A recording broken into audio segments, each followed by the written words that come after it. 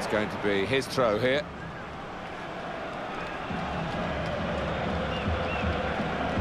Stam. This could be a chance. Oh, volley! He scored!